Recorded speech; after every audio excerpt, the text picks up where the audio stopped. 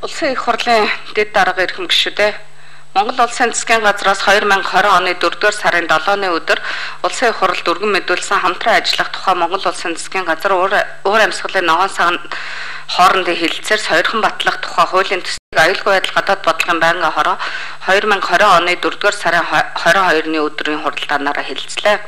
Байнгын хорооны хуралдаанаар хуулийн төслийг хэлцэх үед улсын их хурлын гишүүн Ундраа Бат Эрдэн Батуулд оюундар нар уур амьсгалын ногоон сангаас хэрэгжүүлж байгаа төсөл хөтөлбөрүүд нь Монгол улсын доктортой хөгжлийн зорилттой хэрхэн уялдаж байгаа тухай.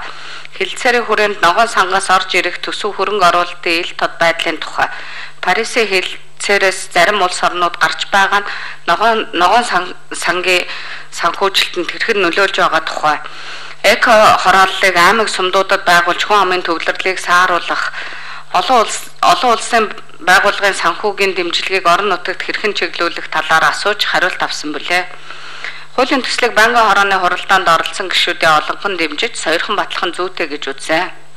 Улсын их хурлын эрхэм гишүүдээ хамтран ажиллах тухай Монгол улсын засгийн газар уур амьсгалын ногоон сан хоорондын хилцээр сойрхон батлах тухай хуулийн төслийн талаар аюулгүй адил гадаад бодлогын банкны хорооны санал дүгнэлтийг хэлэлцэн хуулийн төслийг баталж өгөхийг та бүхнээсээ хүсье. Анхаарал хандуулсанд баярлалаа.